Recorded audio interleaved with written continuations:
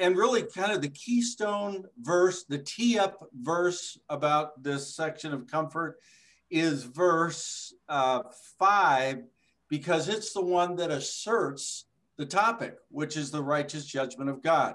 Verse five in the REV says, It's evidence of the righteous judgment of God that you will be counted worthy of the kingdom for which also you are suffering. So remember we talked last week that there was evidence that, that if you think of God in the courtroom and you've got all of these things and there's evidence provided. So last week, the evidence was stated briefly, which is it's righteous for God to repay with affliction those who are afflicting you and to give relief to those of you who are being afflicted. That's the evidence stated briefly. Tonight, we're going to look at the evidence stated more fully. And we really began that last week. I would call that in verse 7b, where, in, where, where the scripture states, when the Lord Jesus is revealed from heaven with his powerful angels in flaming fire, taking vengeance on those who do not know God and on those who do not obey the good news of our Lord Jesus. We kind of left off right in mid thought. That was where we left off. And we pick up tonight in verse 9. So, verse 9 says, They will pay the penalty of everlasting destruction away from the presence of the Lord and away from the glory of his strength. And I'll stop there for a moment. So, Jerry, my, my cohort, has joined us. And um, Jerry, you ready to go for tonight? Sir, let's get going, Jeff. All right. All right. So, well, let's just start right here because in verse nine, there's a couple of biggies here in verse nine. And the first one that comes up for me is, is uh, they will pay the penalty. What does that mean? They will pay the penalty. Well, this is a part of uh, the ongoing discourse that Paul has been talking about in the righteous judgment of God, as you just mentioned, Jeff, back in like verse five. Well, the righteous judgment of God is part that God is going to repay these tormentors of the Thessalonian church with affliction. He's going to repay them with affliction because they are afflicting his people. And then he further states that this is going to happen when Jesus comes from heaven and on account of on behalf of God, he takes vengeance against those people who, who do not know God and who do not obey the good news. So he's going to repay these people with affliction. He's going to take vengeance upon them, but it's never really kind of specified. And so he, he says it a third time here that they're going to pay this penalty. Well, I, I do want to point out that these words like righteous in the righteous judgment and in the word here for vengeance and also the word here for penalty.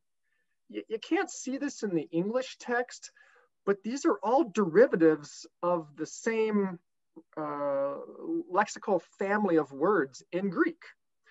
Uh, they all deal with justice, as you've been saying. And as a matter of fact, this word here for penalty um, it's it's just dike. It it means justice. It is the word for justice. And in the Greco-Roman world, uh, dike was the name of the god for justice, just like the word Nike is the Greek goddess of victory. So dike is, is referring to justice. So what, what Paul is saying here is that these individuals, they're going to pay this penalty. But you could render this as that um, they will suffer the punishment of divine justice. They, they, they will have to undergo God's justice, and that happens at the judgment. Now, Jeff, if somebody is a criminal, um, why do they run from the law? Generally, because they've done something wrong. and if they get caught, they're going to be taken to court and what will be served? Justice will be served, hopefully, on a silver platter That's in a right. righteous world. Yeah. So uh, this is a, a great way, I think, for Paul to, he's just driving home this point for the Thessalonians. You know, and we've talked a lot about the whole purpose here, Jeff, right? Is is all about trying to comfort the Thessalonians and explain their circumstances so that they don't grow weary and lose heart, but are able to endure with perseverance. Well, so Jerry, it looks like here is Paul now finally spelling out this justice where it says they pay the penalty everlasting destruction away from the presence of the Lord. Like are are they being what is that all about? What is this everlasting destruction and and where are they going anywhere? Are they being sent somewhere? Yeah, I think Paul does get to the point here, kind of the as you mentioned, he gets he finally talks about what do these what do the bad people have coming to them? You know, what is this justice? What does it really look like? Well, he's he does spell it out. Everlasting destruction. I mean, this this word just sounds pretty pretty rough. Everlasting destruction. It's not just destruction. There's like uh, an adjective that makes it like even you know more daunting. It's everlasting. Now, you know the scriptures talk about the the end for though the enemies of god what will what is their ultimate destiny and their ultimate destiny is to be destroyed to be burned up to be thrown into the lake of fire to suffer the second death.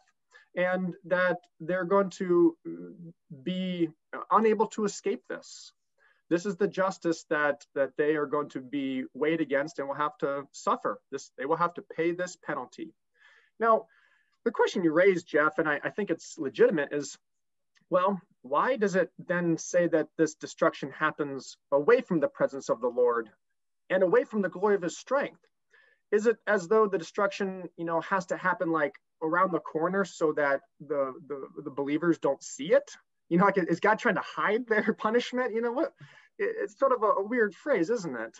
It is. It is kind of weird, and this, I mean, this word presence it seems to come up actually several times in these couple verses. Plus, I think it's come up again, or at least the thought of it uh, came up in First Thessalonians. So, what what is this all about? Away from the presence of the Lord and the glory of His strength. Yeah, I think Paul is trying to spell out um, in terms that co- uh, coalesce with uh, some of his other themes in the letter, and especially themes previously in First Thessalonians, that the idea of everlasting destruction is the counterpart to being raised to everlasting life. You know, and when you're raised to everlasting life, you know, Paul talks about this in First Thessalonians chapter four. You know, the Lord is going to descend from heaven with the shout, trumpet of God, and everything. And what's going to happen? the dead in Christ are going to rise, and the people who are alive um, who trust in Christ are going to be gathered together with them and meet the Lord in the air.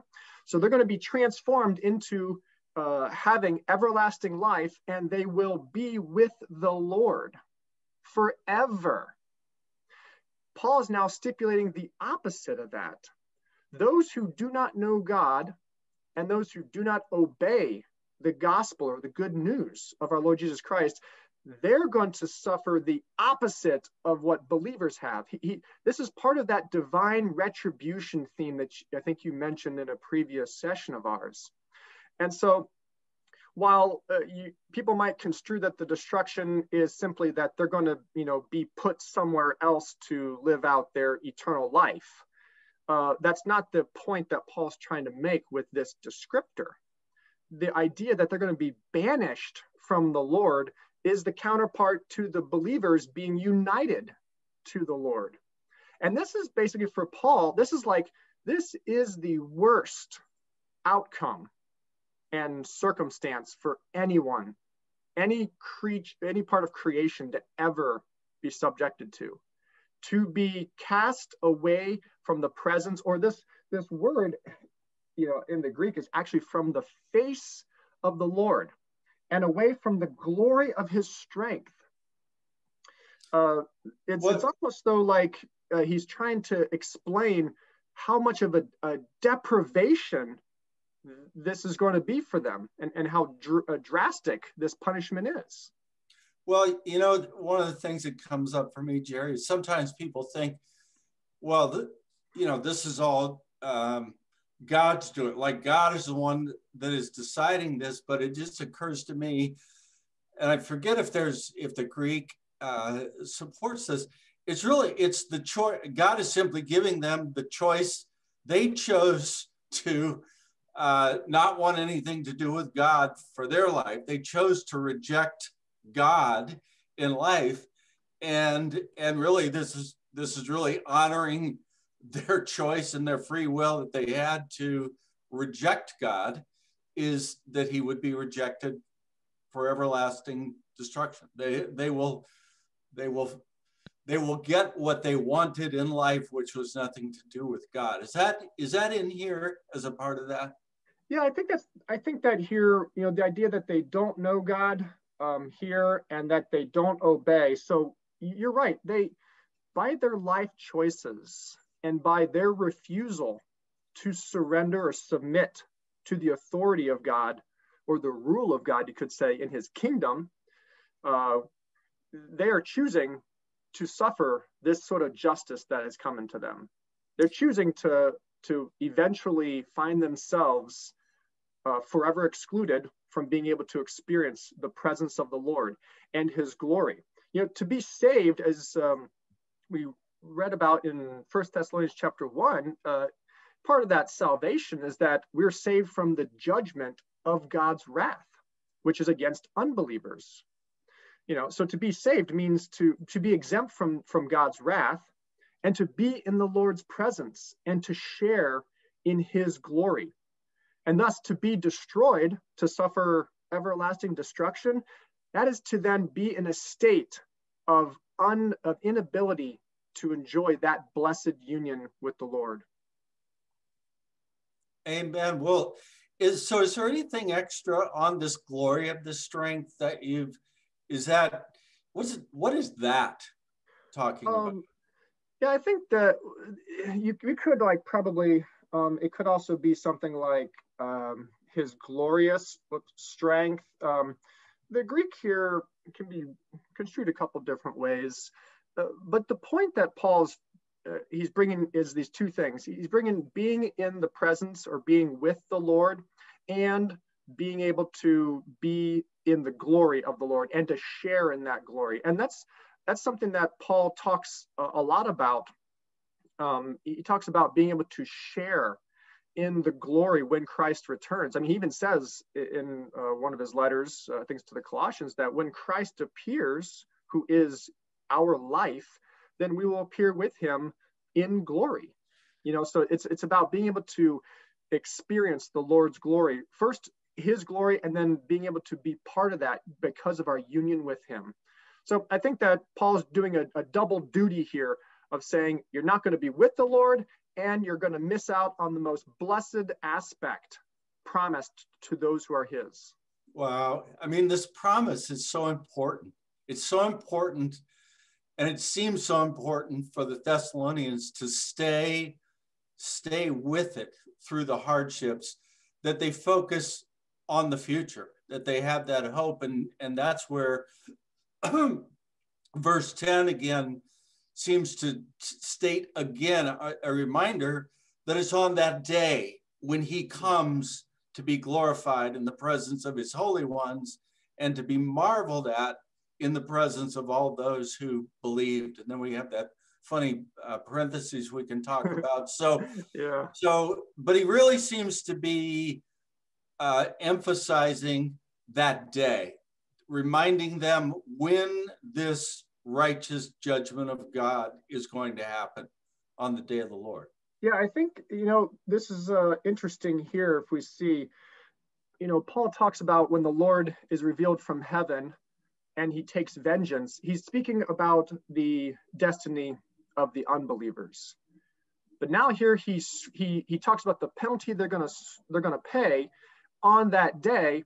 But on that day, he now focus he switches his focus. He switches his focus now on what he's coming to do for his people, for believers. So on that day when the Lord comes, unbelievers are going to get what's coming to them. They're going to be destroyed. And when he comes, though, if you are one of his, he comes to be glorified in the presence of his holy ones and to be marveled at in the presence of all those who believe. I mean, I mean that is something that I think we all look forward to, right? Oh, absolutely. I mean that it what it what it looks like again, Jerry's it's he keeps going back and forth from the the the negative judgment on the persecutors and then the positive judgment on those who are being persecuted, the believers in this case. Mm-hmm. And so he, he's it's the, the same event that brings justice, the negative to the unbeliever and the positive to the believer.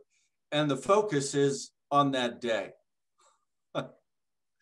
now, this, uh, let, let, me uh, say one thing real quick about this presence thing, because you, you brought up that there's this, um, you know, there's the presence here, presence here. Uh, we inserted the word presence for the sake of the ellipsis that we think is happening here. I was going to ask you about that because you guys you did insert it in the REV. Yeah. Because it, it's hard when you say like he comes to be glorified in his holy ones. It's not clear what sort of a, a nuance that preposition in, you know, how, how are they, how is the Lord going to be glorified in his holy ones? And another point to make here, I think, um, you know, back in First Thessalonians chapter three, when he comes, it says he comes with his holy ones from heaven. But there, as we saw uh, previously, that's likely referring to the angel armies of heaven that the Lord is going to come with. And I think that corresponds to his powerful angels up here in verse seven that he's going to come with from heaven. But down here, when he comes to be glorified in the presence of his holy ones, the meaning of this word shifts. And I, I think he's now going back and he's speaking about believers here being the holy ones of God. And so he's coming to be glorified in the presence of his holy ones. And this also harkens back to the uh, time of the Lord's return in First Thessalonians chapter 4, when he comes from heaven and then he uh, raises up all of all of his people and they join him together in the air. So he is he is glorified together with the believers in the air in First Thessalonians 4. And not only to be glorified, uh, he says that, that he's to be marveled at. When was the last time you marveled at something, Jeff? The last time I even saw that word is I was a big fan of Marvel comics rather than DC. I was a Marvel fan. So I don't know, is this is this anything to do like with Marvel comics? What does that word mean? Yeah, Marvel, you know, it's we think of it in English like um, when, when you see something really amazing, right? You, you marvel at it. And it's it's maybe uh, like it's incredible. It's it's it's amazing. Uh, but when the way that Paul is using this in the sense of uh, this, you could say eschatological or end times apocalyptic type of language here, uh, this has more not to do with amazement or astonishment, but it's more the notion of ascribing honor to him and, and glory, it, such that it, it's it's like a description of a posture of worship. I mean, we're not going to be.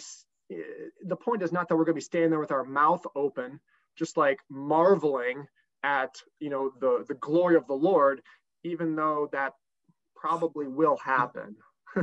you know, it, it's more about a posture of the heart of just being filled with awe and wonder and and just uh, being so overwhelmed by his majesty. It just it just to me brings up it's a day that we all want to be a part of. And we can't even imagine what that day will be like. And what that must have meant to the believers when they were under great duress to know what a glorious day that will be. Uh, had to be, has to bring great comfort, not just to them, but to us when we're going through hard times. Yeah. So Jeff, here at the end, he he puts in that this is going to happen in the presence of his holy ones and all those who believe. I think these are parallel. Then what is this little thing on the end here? This includes you because our testimony to you is believed. it sounds like it's a little bit redundant. What, what do you think that's supposed to function as? Why, why does he put that there? Yeah, to to me, Jerry, this is this is about Paul emphasizing over and over again that they fall on the positive side of this ledger, that he's reminding them again in all of this that he's going to be that in the presence in presence of his of uh, when Jesus comes to be glory, glorified in the presence of his holy ones, in the presence of all those who believed. And then, by the way, this includes you because our testimony to you was believed. So it just seems to me, again, he's making painfully clear that they're going to be a part of this glory when Jesus Christ comes, and therefore not to be worried, not to be anxious, not to be concerned, because he's doubling down that their their salvation is assured because of their uh, because they follow Jesus because he is their Lord.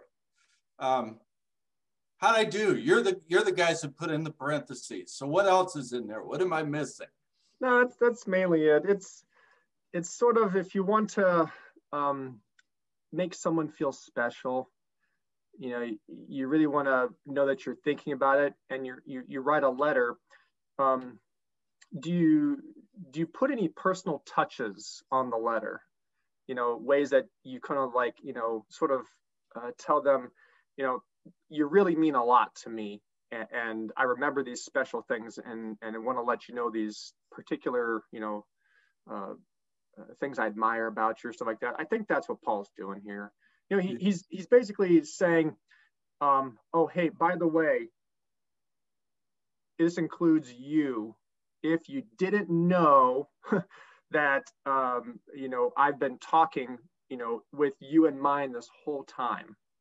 Mean, it seems to us probably obvious that when he says, you know, that the Lord's going to come to be glorified in his holy ones, he's going to come to uh, be marveled at in the presence of all those who believe, that the Thessalonians would just implicitly know that they're included in that group. Well, Paul doesn't want to give any room for doubt here. And so it's almost like he's basically doing a little personalized PS script at the bottom. Hey, I want you to know that this is you because you believed our testimony.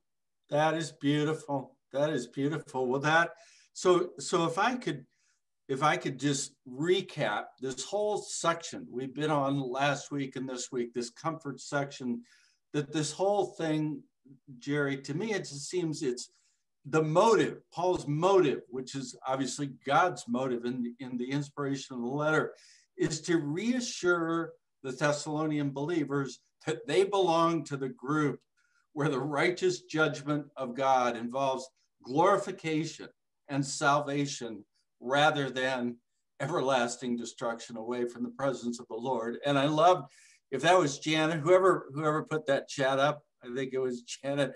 I think of that song, the words of that song that you put up there. Um, that would be exactly the song that would come to mind if I were going to try and summarize this section. So anyway, well, well, so Jerry, should we move on to the prayer? Yeah, let's close out this chapter here. Okay.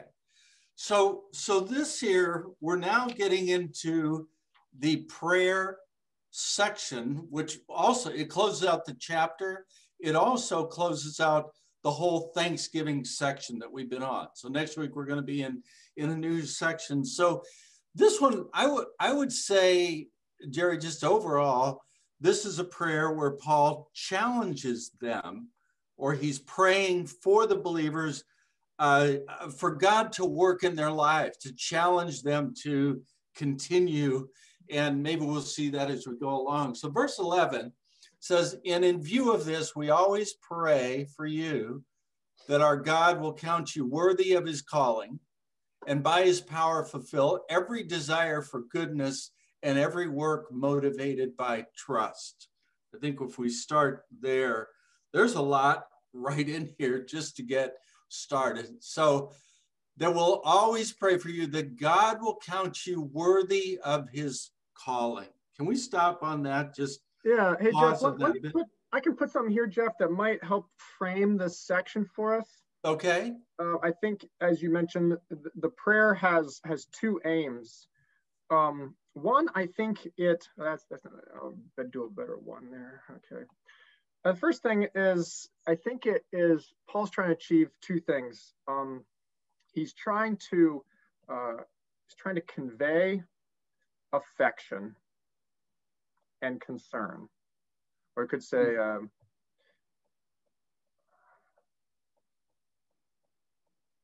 he's trying to comfort them, his concern for them as their life, their circumstances of persecution.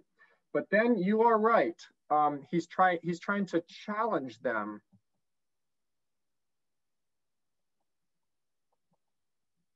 to live according to and we'll get we'll get to that to fill in the blank here in just a second. Okay. Okay. Beautiful. I like that. I, I i like the way that summarizes there. So so so let's let's talk about this that our god will count you worthy of his calling because that comes up. The calling calling comes up quite a bit. Uh, certainly comes up in the letter and and worthy of the calling. So can we stop on that and, and reflect a little bit or about yeah. this worthy of calling? Yeah, I'm gonna, I'm gonna fill in the the blank because you just read it, and I think you know this his calling. Well, um, there we go. So that he's challenging them to live according to God's calling. To God's calling.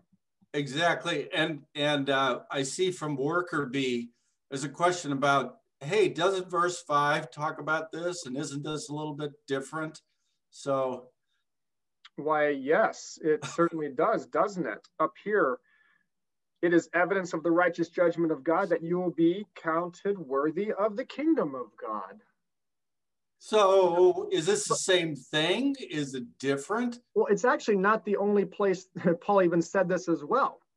We can even go back to his previous letter in First Thessalonians chapter two. I remember he talked about um, like how he treats, he looks at them and treats them like a, a father treats their children. Um, and he's encouraging them to live a life of holiness uh, because he says that you're supposed to walk in a manner worthy of God who calls you into his own kingdom and glory. So this idea of, of walking worthy, being counted worthy, these, these ideas, they tie together. Now, uh, I think the parallelism between verse 5 and then here now in verse 11, I think is direct. The, the connection back to First Thessalonians 2 I don't think it's a direct allusion or connection. It's just the same idea is being expressed by Paul toward the Thessalonians in multiple places. Now, being counted worthy. Oh, I'm sorry. Go say something, Jeff. What would you? Well, I was just going to ask. So, so this counted worthy. He's praying that they would be counted worthy of their calling. I mean, does Paul doubt the salvation of the Thessalonians? Is that what he's praying about here? Oh, of course not. I mean, as we've read in the letter, the Thessalonian believers are the epitome of of faithful believers. I mean, Paul is, as we said before, so stinking proud of these guys. You know, like he, he got kicked out of town and left, and he is hearing about how their faith is growing. Um, they are enduring persecution. They are loving each other. I mean, no, they're not. They're not in like uh, Paul's mind. He's not concerned like, I don't know if you guys are there yet or not. No, that's not what he's trying to do by this. You know, it, it's more or less if you are trying to encourage somebody to continue in a course of action, you you would uh, say it in an, in an affirmative way. You know, and and Paul's prayer is for them to continue in the way that they are living for the Lord, in the way that they are loving each other. And his, his prayer is that they would just continue that way and ultimately that God will count them worthy of his calling because that is what he wants for them. He wants them to live up to the measure of God's calling in their life. Now, well, he he he goes on, Jerry, to talk about two ways are these are these connected? Is part of that walking worthy because he talks about fulfilling every desire for goodness and every work motivated by trust. So is there a connection there? Is that is that part of that walking worthy by fulfilling every desire for goodness and every work of trust? Yeah, um, oh, that's not how it's spelled. So the grammatically here, you know, this prayer that Paul has is supposed to be. There's two um, objects that go with it, two two clauses. You know, his prayer is for two things. One, that God will count the Thessalonians worthy of his calling. Secondly, that God will fulfill every desire for goodness and every work motivated by trust. So you know, we could say this is part one of the prayer, and then this is part two of the prayer, where this counting and fulfilling are the two actions God is, or Paul is praying for God to take toward the Thessalonians. Now, um, I, I think what you were asking about previously, what you were talking about the power part here, right? Did you bring that up? Yeah. So by his power fulfill. That looks important. It sounds like like God needs to be involved in, in this that he's asking for the believers to do. I mean, can we can we honestly really do anything apart from God? Like, are, are we are we able in ourselves to to really achieve anything actually significant and good? No. Um, I, I, would say no. We we are we are uh, entirely dependent. We are entirely dependent upon God and His grace uh, to be able to carry out the function of the body for which we have been placed in. You know, to to be able to exercise the way we've been uniquely uh, put into uh, Christ's body. Uh, we don't just have the innate ability to to do what we're supposed to do. And so Paul definitely is. He's he's pointing to the Lord God and saying that his prayer is that he, God, will count you guys worthy of his calling, that you will walk worthy of the calling you've been called by, and that God will continue to work in you so that he fulfills in you your desire for goodness and every work. This reminds me of a, another passage many of us might know.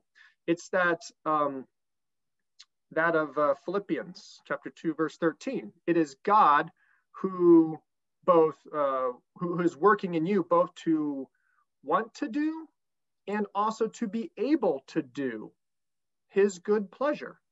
You know, it's it's God working in us to be able to be able to fulfill, you know, God's will in our lives. And well, well this Jerry, this desire for goodness then for him to fulfill every desire for goodness. Can you talk a little bit more about what what that is all about? Yeah, the, the two things that Paul wants God to fulfill in the life of the Thessalonians is uh, desire for goodness and work motivated by trust. This good this goodness word here, desire for goodness. Uh, the idea of goodness, you know, it, it, seems like kind of like an, it's an abstract notion. Um, what what does goodness mean? Well, Jesus said that there is only one who is good, and that is God, our Father. And when we say something is good, it has to then derive from the divine intention or the divine will, plan, and purpose of God. Something cannot be good that is not in line with God's purpose and his will. And so all this desire for goodness are things that fall in line with uh, with God and with his character.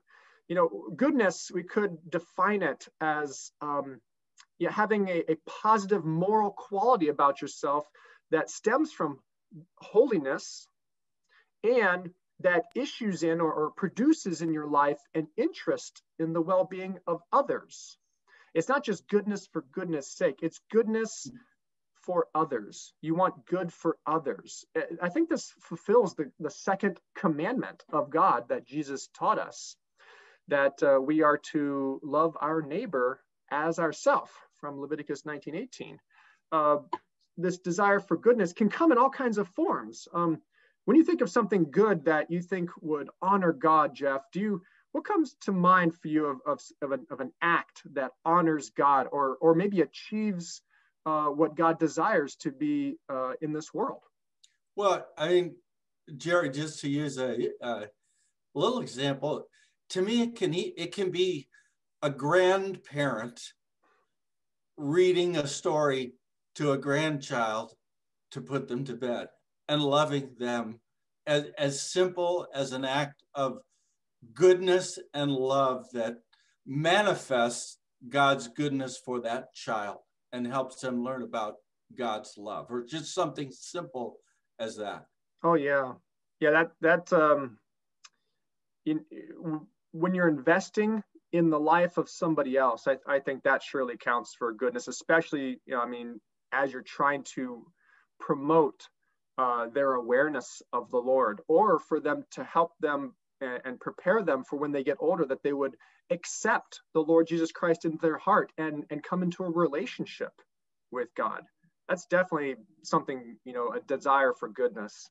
I also, you know, uh, for myself, I, I think a desire for goodness would be to to show love to other people, and it can be as simple as when you're at uh, the grocery store, and if you see somebody who maybe seems down, depressed, or, or, or frustrated or something like that, you know, I've, I've just gone up and said hi to somebody and said, you know, God bless you. Uh, you know, I hope you have a wonderful night.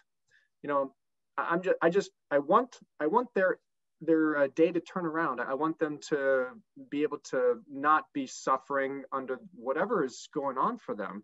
You know, it's just a, a it's a general desire and interest for other people to to uh, for their well-being and, and for their overall health mentally spiritually emotionally you know physically all of that that's that's beautiful and then if if you tie that jerry i think of this second part that you've underlined here that there's oh, a yeah we, we've heard a, this we've heard this line before haven't we Jeff? yeah the work motivated by trust because and it was what you pointed out in philippians that one is the desire even to want to do good things and then the other is to actually do them. It's work, it's the actions or the activities, and those activities motivated by trust. And this this was all over First Thessalonians, wasn't it? All the way from the first prayer in First Thessalonians 1 3 that he thanked God for their work motivated by trust. And I, I think of this one, Jerry,